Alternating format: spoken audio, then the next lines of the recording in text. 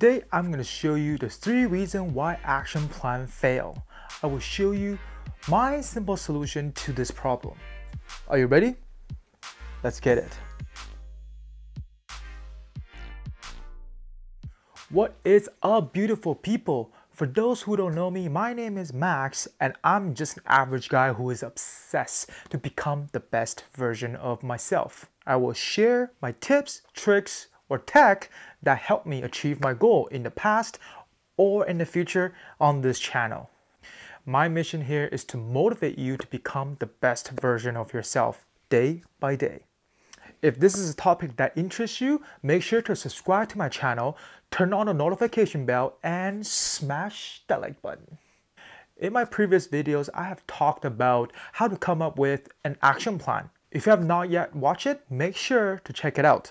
I will insert a card and link in the description down below. For those who have already set out a game plan, good job, good job. Today, I want to help you avoid some of the mistake I made when I started my journey. I used to think that having an action plan will automatically make me achieve my goal. I was way too naive in the beginning of my journey.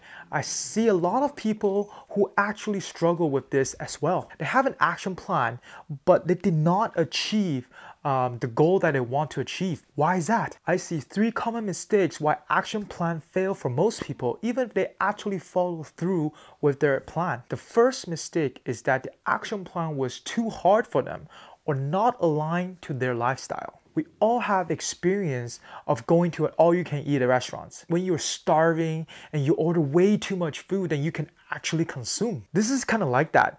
When we come up with our action plan, we were so fired up uh, we were so excited at the time when we are coming up with the action plans and we think that we can conquer the world. This leads us to think we can actually do the stuff that we set out to do, but when push comes to shove, this may not be the case due to the misalignment with our current style or our tolerance level. The second mistake is that the action plan wasn't challenging enough. This tends to happen with people who are very eager to see results and the people who live their life on a faster pace. This is exactly where I was a couple years back. The action plan got easy for me way too quickly and I don't feel challenged at all. The third common mistake is that you stay on the action plan for way too long. This typically happens when your progress has outgrown your knowledge base. You might actually be on a level where you need to learn more on how to accomplish your goal or you need a mentor to actually help you push forward. So how do we avoid these three common mistakes so we can achieve our goal? The answer is follow the fourth out of the five focus point that I talked about on my first video of this series,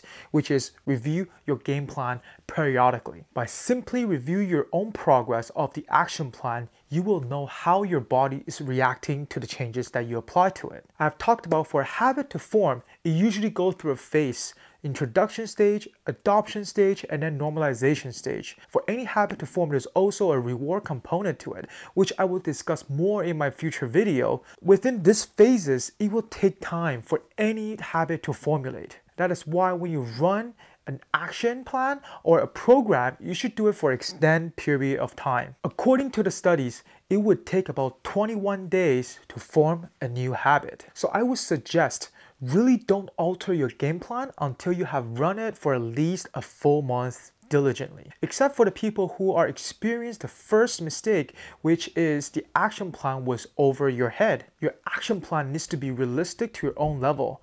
I suggest to get real with yourself ASAP and not to fluff up your own ego. I think dial back a bit on the intensity level may be a good idea. For people who are experiencing mistake 2 and 3, you should always audit your progress periodically. I can't tell you what is a good time frame because it is very subjective. Some goals take longer to see any sort of results and with some goals, the results come a lot faster. So it's really case by case. But for my weight loss journey, I review my progress of game plan on a monthly basis just to give you an idea. When you are reviewing your action plans, make sure to ask yourself the following questions. Has my lifestyle changed since? Am I used to the game plan and these actions become a norm to me? Can I add another 20% of the intensity to my current action plan? If any of the answer to the question is yes, then create new action plan that fits your new circumstances. And congratulations, you have moved forward toward your goal. If you are at a point where you can't progress anymore on your own, consider getting yourself a coach or mentor. There's nothing to be ashamed of to get help. All successful people understand they are not expert on everything. So rather than just to waste time and not seeing any results, seek mentorship and help to leverage your time. This is why continuous learning is so important. Also, surround yourself with supportive, successful, and positive people who will support you with knowledge and positivities you need to push forward. Our objective is to create a long-lasting results with a good habit. By reviewing your progress and alter your game plan periodically, it will definitely help you to form a better habit. The better the habit, the closer you will be towards your goal. Remember, Rome is not built in one day. Okay guys, that's it for enough video. Thank you very much for watching. Start taking small action towards your goal and not to be afraid to make mistakes along the way. And remember, I am here for you. Leave a comment down below. Let me know if you have ever experienced the mistakes that we talked about today. Leave a feedback encouragement, or what would you like to see in the future videos down below. It would be very much appreciated. You can also message me offline if you need any assistance from me. I will do my best to help. So, until next time, peace.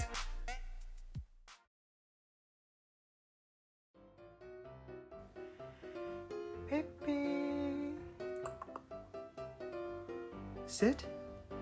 Sit. Woo! job, boy. Good job. Oh. Spread.